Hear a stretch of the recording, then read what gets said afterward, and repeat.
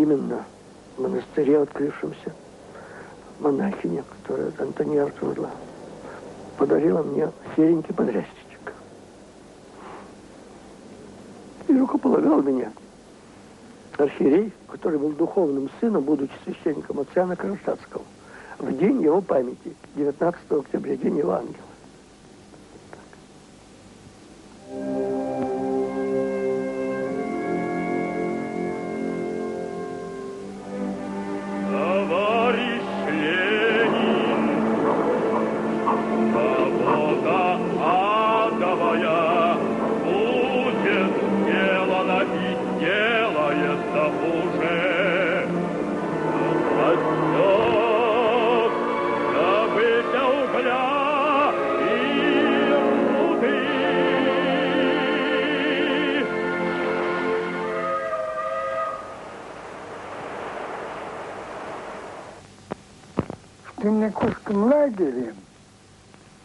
Монах-барон, барон Эстон. И он мне рассказывает, в лагере два антиминца. Антиминц – это священный расшитый плат, который кладется на престол, и без него не может быть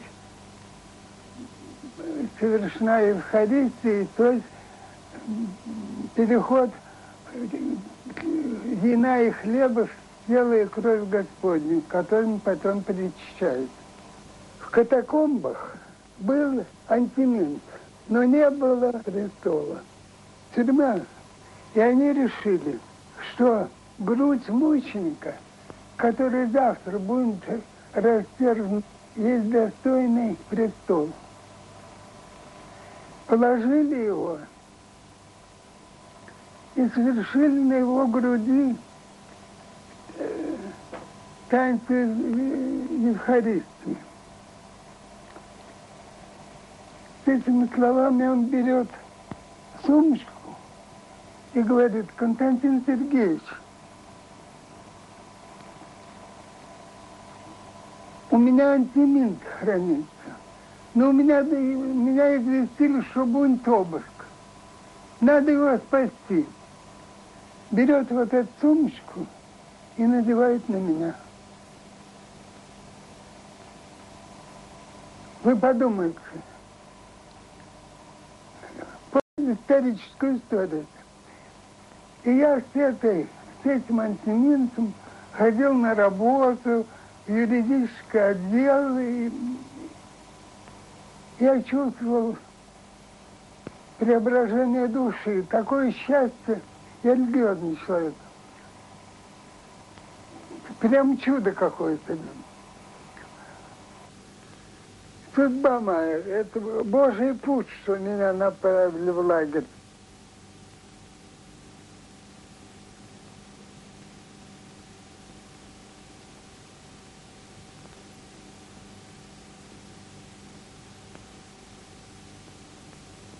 Антиминс.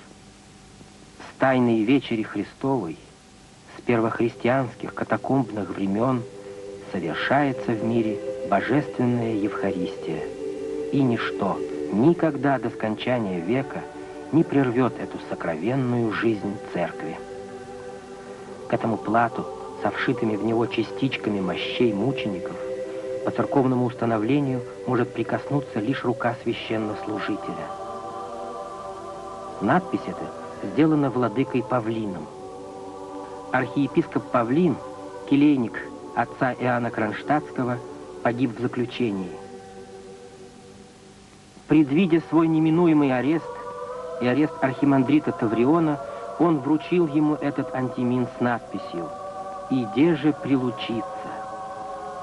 Эти слова давали право отцу Тавриону совершать таинство Святой Евхаристии везде, где ему случится быть.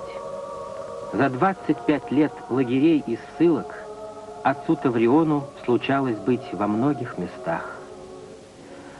После всего пережитого Тихая пристань, небольшой Спасо-Преображенский монастырь под Ригой, пустынька. Многих она утешила, многих согрела.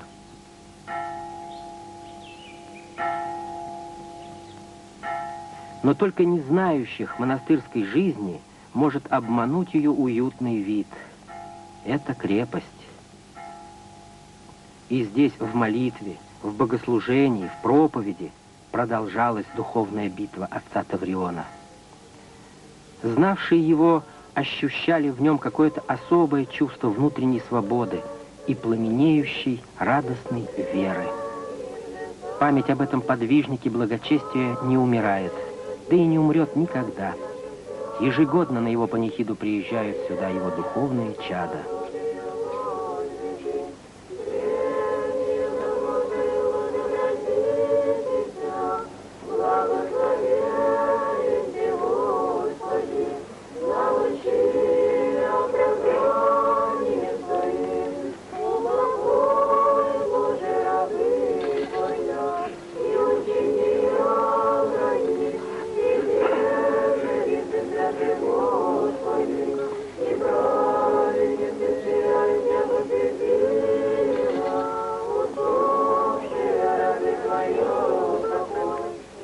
О своем наставнике вспоминает отец Владимир.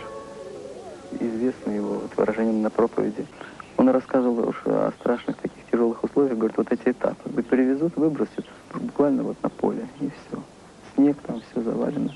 И говорит, мы в землю куда-нибудь зарыться бы только от холода, от, э, вот, от ветра там или что.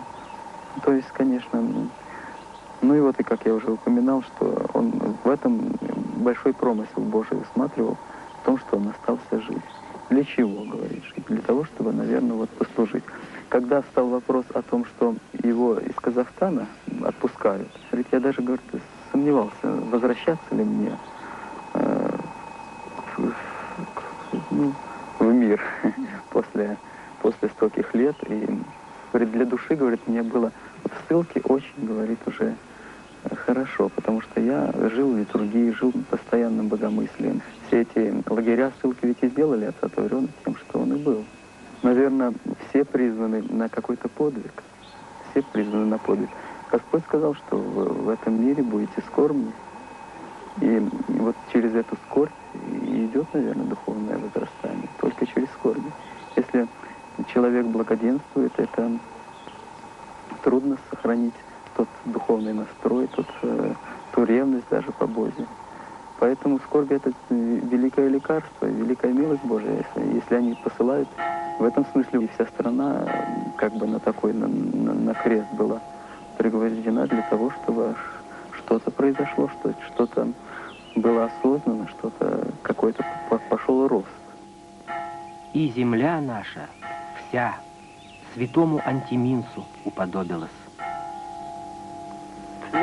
Святи російського луга духовного,